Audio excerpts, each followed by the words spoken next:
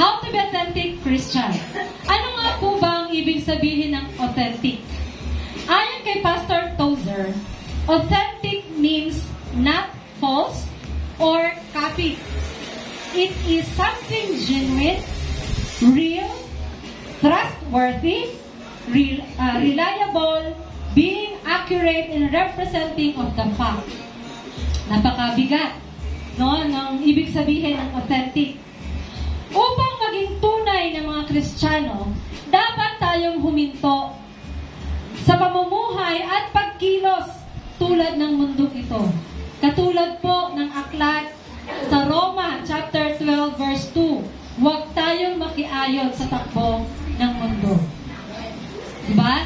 Ngunit bilang isang mga lingkod ng ating Panginoon,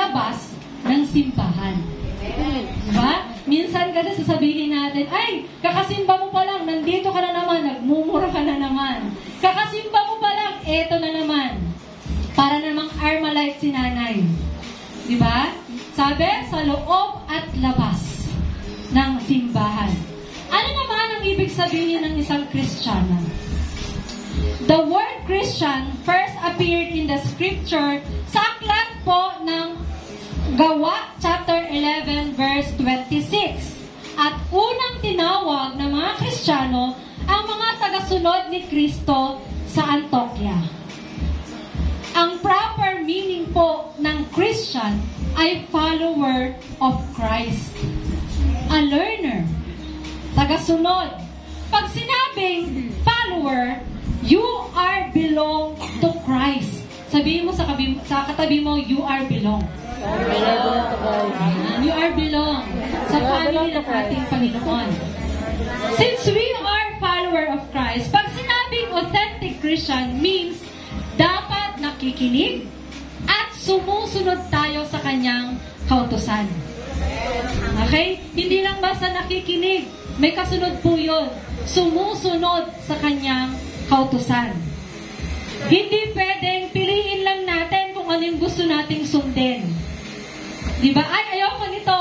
Kasi parang ako yata yun. Pwede bang ito na lang kasi mas madali itong gawin. Mas madali siyang sundin. Di ba? Hindi po. Ang salita ng Panginoon, masakit sa ating mga Kristiyano. Pero yan, ang gusto ng ating Panginoon na tanggapin natin para sa ating pagbabago. Amen.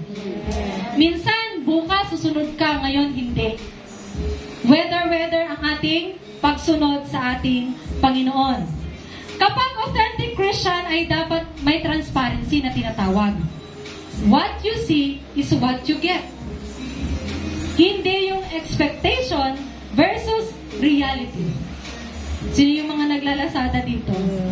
Nagsha-shopping. Eh, maraming tumawa. Ibig sabihin talagang sikat ang Lazada at Shopee dito. Di ba? Andun yung expectation versus reality. Sa na kasulatan, binigyan tayo ng malinaw kung ano ang ibig sabihin ng to be authentic Christian. Are you a true believers of Christ?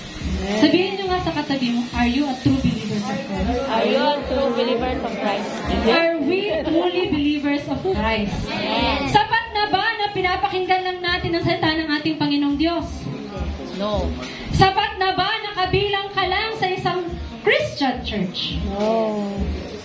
Kung oo ang sagot mo, dapat alam mo to at ginagawa mo ito. Kapag hindi naman, dapat talagang makinig ka kasi siguradong may matututunan ka. Amen. To be a true believers in Christ, we need genuine realization and confession that Jesus is Lord and Master. Jesus, Lord at kilala natin kung kanino tayo naglilingkod. Ikaw, kanino ka ba naglilingkod? Ginagawa mo ba yan dahil responsibilidad mo lamang? Ginawa mo ba yan dahil nakaatang lamang sa'yo o ikaw ang inutusan ng ating pastor? Kanino ka naglilingkod? Sa po ng Filipos chapter 2 verse 9 to 11, sinasabi diyan kung sino at kung ano ang ating Panginoon. Habang nasa lupa, ipinakita ni Jesus ang kanyang kapakumbabaan, pagkamasunurin at kadakilaan.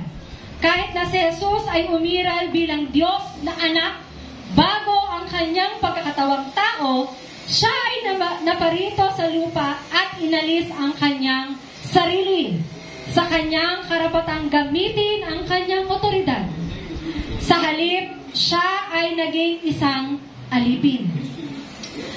Pagsunod ni Jesus sa Diyos Ama at ang kanyang pag-ibig ang pagnanais na bayaran ang kasalanan mo, kasalanan ko, kasalanan natin at ng buong sangkatauhan ay nagbunsod sa kanya na magpakumbaba hanggang sa mamatay sa krus. Dahil dito, in verse 9, siya ay itinaas ng Diyos at ipinagkaloob sa kanya ang pangalan, pangalan na higit sa lahat ng pangalan. So kung ang ating pangalan ay talagang iniingatan natin, ano pa ang ating Panginoon? Isang pangalan. Upang sa pangalan ni Jesus ay luluhod ang lahat ng tuhod ng nasa langit, ng nasa lupa, at ng nasa ilalim ng lupa. Verse 11, At ang bawat dila ay magpapahayag na si Yeso Kristo ay Panginoon. Sa ikalawalhati ng ating Panginoong Diyos, Ama. Ngayon, saan ka at kanino ka naglilingkod?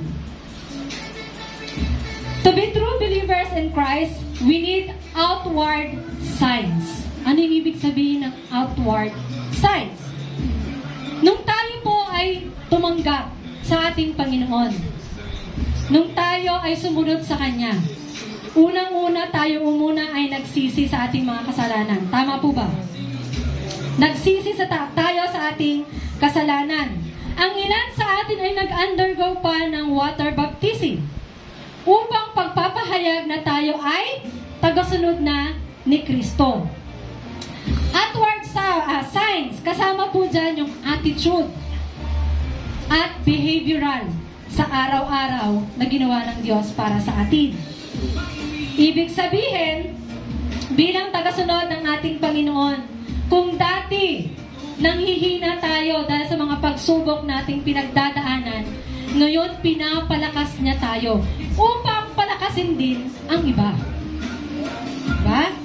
Kung dati, sa umaga pa lang, puro gawaing bahay na ang ginagawa mo, na hindi ka na magkanda o gagak no, sa gawaing bahay bilang isang nanay, ngayon natututo na tayong umpisahan na kasama ang ating Panginoon sa magitan ng prayer, devotion, no, personal devotion para sa ating Panginoon.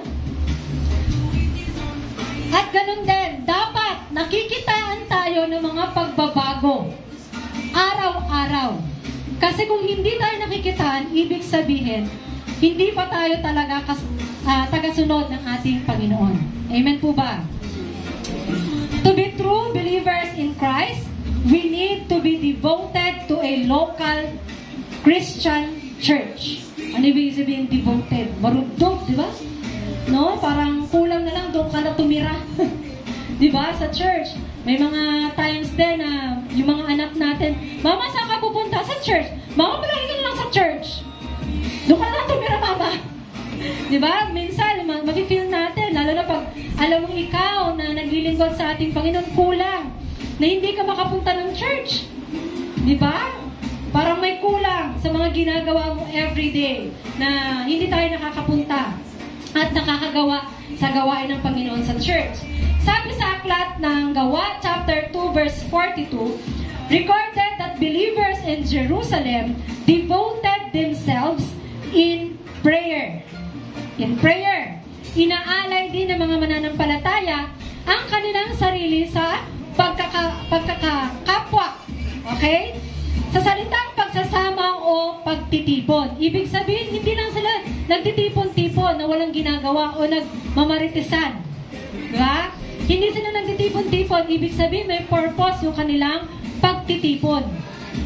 At sa kanilang pagsama-sama, they worship God. Ito yung na, laging ano, isa sa mga dapat na ginagawa na kapag tayo ay nagtitipon-tipon, we are worshiping God. Sa pag-worship sa ating Panginoon, hindi sinasabi naman na puro kanta lang. 'Di ba? Hindi porket mag-worship tayo sa Panginoon, sinabi na, oy, puro kanta na lang tayo ah. Okay? Pag-worship sa ating Panginoon, hindi lang puro kanta. Ilan sa mga way na may papakita ang ating pag-worship sa ating Panginoon ay ang ating personal devotion. Sabi mo sa katabi mo, kamusta ang personal devotion mo? Kamusta ang personal devotion? Kamusta ang ano? Wow, may nakita ko sa Personal Okay. devotion. Ah, Talagang, okay, personal devotion. Sabi nga, sa personal devotion, dapat regular. Regular, hindi pwedeng bukas, oo, susunod, hindi. Bukas, oo, susunod, hindi. Ano ba to yung parang lulubog, lilitaw. Na, na personal devotion. Pag sinabing regular, araw-araw mo tong ginagawa. Okay? Kung tayo ay araw-araw na nagsa-cellphone, araw-araw din dapat natin itong gawin. Minsan nga, oras-oras pa tayo mag-cellphone, oras-oras na ayaw bitawan ng cellphone. Di ba? Para, ah, ganun din dapat sa ating pag-devotion. To be true believers in Christ, we need to be devoted to doctrines. Sinabi sa Gawa, chapter 2, verse 42 na, nananatili sila sa itinuturo ng mga apostol. Matatag silang nagpatuloy sa doktrinang iyon na malinaw na tinanggap nila mula sa Diyos. Ang salita ng ating Panginoon sa Biblia ay hindi po kasinungalingan. Hindi yan basta-basta. Hindi po yan tulad ng mga aklat ng math, science, Filipino, module, di ba? Yan po ay salita ng ating Panginoon. Ibig sabihin, sila ay naglalaan ng panahon upang makinig at mag-aral. Ang mga doktrina at ang salita ng Diyos ay dapat kilala, kilalanin natin bilang pagkain natin espiritual. Kamusta ang ating espiritual na buhay? Nanghihina ba? Dapat kilalanin natin na ang salita ng ating Panginoon, ang pagbabasa ng Biblia ay pagkain espiritual ng bawat isa sa atin. May isang story. Sabi dito, may isang parot ang binili sa isang pet shop. Sabi ng shop owner, nagsasalita daw ang parot. Sino may alagang parot dito? Wala? So, alam niyo naman yung, yung itsura ng parot. Yan. Pag sinabing maganda ka, ano sabihin? Maganda ka, di ba? Sabi, ang parot na to nagsasalita. Kaya yung isang lalaki ay bumili ng parot. After two days, walang imik yung parot. Sabi niya sa shop owner, ay sabi ng shop owner sa kanya, bilhan mo ng mirror, salamin. Di ba? Bilhan mo ng salamin.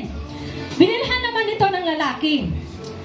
Pero, pagkaraan ng isang araw, hindi pa rin nagsalita ang parot. Sabi naman ng shop owner, bilhan mo ng ladder. Di ba? Para exercise.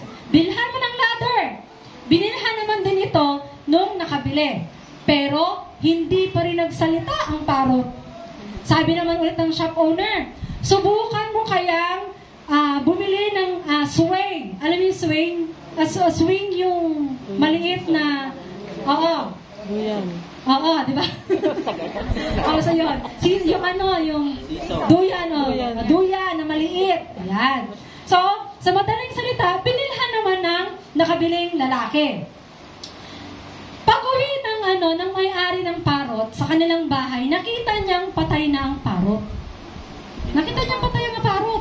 Nalungkot yung may-ari, kaya tumawag siya doon sa shop owner. Sabi niya, namatay na yung parot na binili ko sa'yo. Nagtaka ngayon yung dalawa kung bakit namatay yung parot. Isang bagay ang nakaligtaan nila. Sa tingin ninyo, ano yun? Ang galing talaga ng mga anak ng Diyos. Nakaligtaan nila na pakainin ang Binili ng binili. Ha? Ha? Ganon din tayo. Maraming Kristiyano ang nagiging abala sa maraming walang kabuluhang bagay. At hindi sa kung ano ang mahalaga para sa ating kaluluwa. We need spiritual food at kailangan nating basahin ang salita ng Diyos kung ayaw nating matulad sa paro. Diba? Sabi, to be true believers in Christ, we need to devote, uh, devoted to the commandments. Sa 1 chapter 14 verse 21, ang sabi, ang, tuma- ang tumatanggap sa mga utos ko at tuma- uh, tumutupad nito, ang siyang umiibig sa akin. Ang umiibig sa akin ay iibigin ng aking ama. Iibigin ko rin siya at ako'y lubusang magpapakilala sa kanya. Ang tunay na umiibig at tumatanggap po sa ating Panginoon ay nagbubunga ng pagsunod. Hindi po kayo mananatiling tagapakinig lamang. Bibigyan tayo ng lakas ng loob upang tayo naman ang tumayo at magpahayag ng kanyang salita. Paano natin gagawin yan? Sabi nga, makinig at sumunod sa ating Panginoon. Ganun din, pag sinabing tumutupad, it means ina-apply natin siya every day. Sa ganon, makikita sa atin na tayo nga ay tagasunod na ni Kristo. To be believers in Christ, we need to devoted to a local fellowship. So lahat naman siguro tayo, may mga fellowship, gathering, katulad po nito. Okay? Hindi mabubuhay ang ating, o hindi tayo lalago bilang isang lingkod ng ating Panginoon kung ikaw lang. Kung sa sarili mo lamang. Sino po bang kayang-kayang masasabing nag-grow ng sila lang? Hindi hindi nakatulong yung mga kapwa Kristiyano, kapwa kababaihan sa iyong paglago. Maliwanag po yan sa Gawa chapter 2 verse 42. They devoted themselves to fellowship. Dahil sa pagsasama-sama nila, pagtutulungan nila, God favored them. Imagine, maraming gustong tumulong sa iyo sa oras ng problema mo. Di ba? Napakasarap. Sa dami, maraming mga shoulder to cry on kapag down ka. Maraming gustong manalangin para sa iyo. Dahil sa mga pagsubok na ito, suffering, hardship, trials, maraming mananalangin. Kaya kailangan mo ng mga kasamahang makikipagtugali sa panalangin para sa bawat isa. Ang fellowship ay nangangahulugan ng called out ones. If you really belong and a follower of Christ, you must have fellowship others belong to and follow Christ. Dapat, kung nanghihina tayo, pumunta ka sa mga kababaihan na magpapalakas din sa'yo. Okay? Sino ba naman ang nanghihina na? Tapos pupunta pa sa mga nanghihina. Mas lalo kayo manghihina. Di ba? Automatic na yan na kapag tayo ay nanghihina, hihingi tayo ng mga prayer, ng panalangin sa mga prayer warriors. Nakikipag-fellowship tayo. Di ba? Sumasama tayo sa mga ganitong gathering para tayo ay mapalakas. Helping in serving one another, recognizing the interest of others, and knowing that they are in the same fellowship of being with Christ. May iisang layunin, palakasin ang bawat isa. God's family works best when its member work together. Hindi lang ikaw at hindi lang dahil sa'yo. Bilang mananampalataya o lingkod ng ating Panginoon, itong huli ay talaga namang paulit-ulit na nating naririnig, paulit-ulit na natin sinishare, paulit-ulit natin, ah, ah, yun na naman talaga, lagi na lang yun, parang nakakasawa. Di ba? Parang sinasabi, kulang na lang sabihin natin na kailangan pa bang i-memorize yan. Di ba? To be true believers in Christ, we need to be devoted to prayer. Devoted to prayer. Lahat ng mananampalataya noon, kahit basahin niyo, bulaklatin niyo po, basahin ang basahin yung aklat no, sa Old Testament. Lahat po yan, ang katugunan ay panalangin. Kahit po sa New Testament. Lahat yan, ang katugunan ay panalangin. Isa sa halimbawa ay nang makulong sina Pablo at Silas. Di ba? Makakaranas ka ng ganun, pero despite sa sitwasyon nila, anong ginawa nila? Umawi, nanalangin. Di ba? Kaya parang nakaka-amaze kung paano kumilos ang ating Panginoon sa sitwasyong nakulong ka na, andun pa yung kumakanta ka, Di ba? Yung mga suffering mo, dinadaan mo sa kanta, sa pagpupuri, at sa panalangin sa ating Panginoon. Nakaka-amaze ang ating Panginoon. Pray without ceasing pa nga ang payo ni Pastor Pablo sa mga Kristiyano. Why pray? Why pray? Prayer is an acknowledgement that there is a higher being who can help us whatever troubles, trials, and problems we have in this life. Hindi madali ang buhay. Hindi, ma- hindi madaling maging isang ina. Hindi madaling maging isang asawa. Hindi madaling mamuhay sa mundong ito. Tama po ba? So why pray? Why pray is important? Because it helps us grow closer to God. Marami kang matututunan sa ating Panginoon sa pagbabasa. At isang katugunan o paraan ng bawat isa sa atin na makausap ang ating Panginoon, alamin kung ano ang kanyang kalooban sa atin sa magitan ng panalangin. Nagkakaroon tayo ng deep relationship sa ating Panginoon sa magitan din po ng panalangin. Why prayer is important? Because it is a source of strength. Kalakasan natin. Kung hindi man tayo o nahihiya man tayong humingi ng prayer sa iba, sa pastor natin, no, sa mga ibang akapatiran natin, manalangin tayo sa ating Panginoon, bibigyan niya tayo ng lakas. Wisdom. Paano makisalamuha? Paano maghaya kung ikaw ang inasal? Paano tayo mamuhay bilang isang Kristiyano? Wisdom. Ganun din ang guidance na ibinibigay ng ating Panginoon. Na sa umaga pa lang na dapat natin gawin, kailangan, no? Na tayo ay humi, humingi ng guidance sa ating Panginoon. Hindi natin alam kung anong mangyayari ngayong araw, kinabukasan. Kaya kung tayo po ay humihingi ng guidance sa ating Panginoon. Why prayer is important? Because Jesus prayed and encouraged us to pray. Si Jesus nga na Diyos, nanalangin, tayo pa kaya? Set by example ng ating Panginoon. Manalangin po tayo. Prayer is effective for so many reasons. Kayo din po ang nakakaalam niyan kung bakit importante ang prayer. Dahil we know that God answers prayer. Amen. Amen. Naniniwala ba kayo? Yes. Na kapag tayo ay nanalangin, tinutugon ng ating Panginoon. Amen. Pero sabi, bakit ang tagal? Lord, gusto ko ng kotse. Wow, kotse. Bagsak mo na, Lord. Ngayon, ngayon na. Diba? Minsan tayo mga tayong mga tao, masyado tayong ano eh, agresibo sa mga pinapanalangin natin sa ating Panginoon. Diba? Never underestimate the power of prayer. Tandaan po natin yan.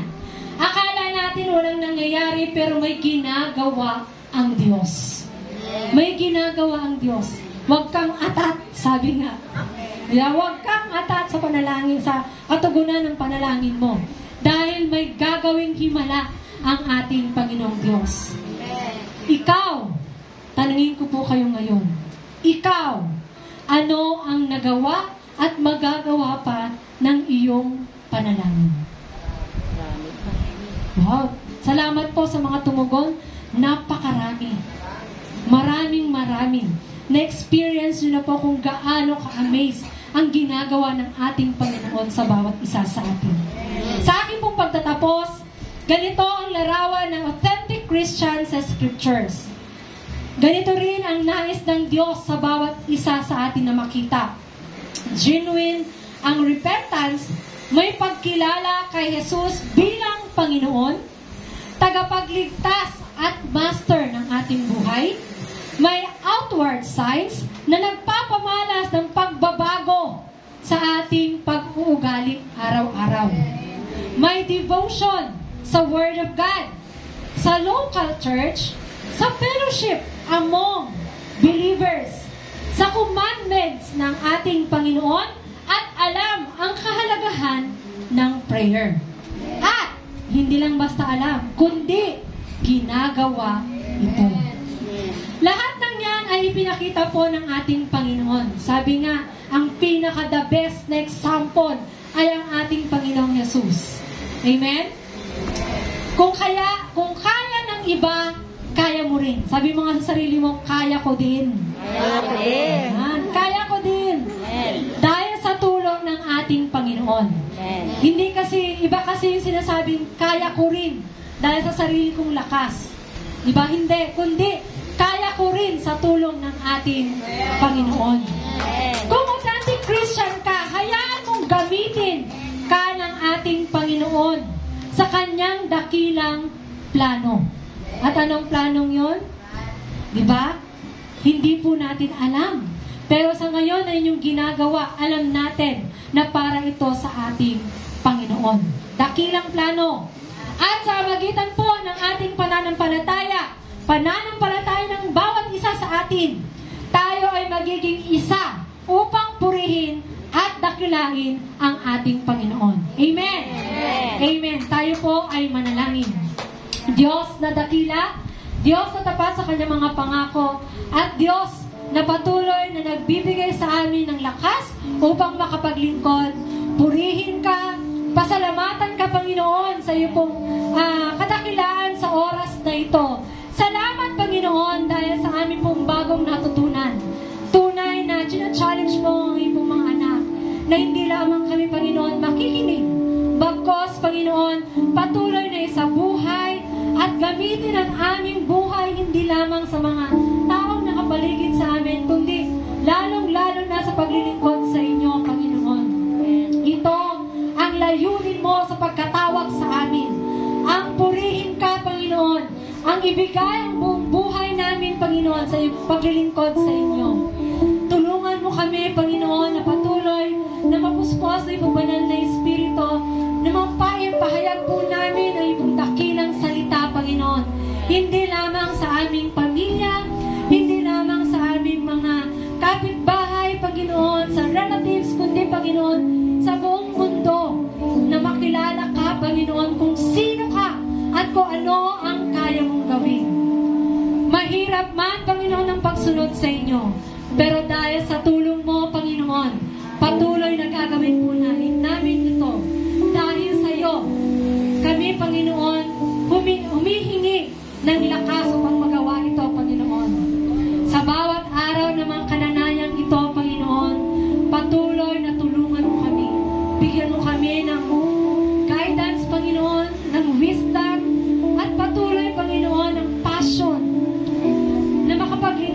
inyo. Ano man ang aming kinakaharap at haharapin pa, Panginoon, hindi kami matatakot. Hindi kami matatakot na harapin ito, Panginoon, dahil meron kaming Diyos na kasama upang mapagtagumpayan ang lahat ng ito. At sa mga salita mo namin pong napakinggan, Panginoon, alam po namin na napalakas ang aming espiritual na buhay. Na patuloy na handang umunlad, Panginoon, sa pakikinig.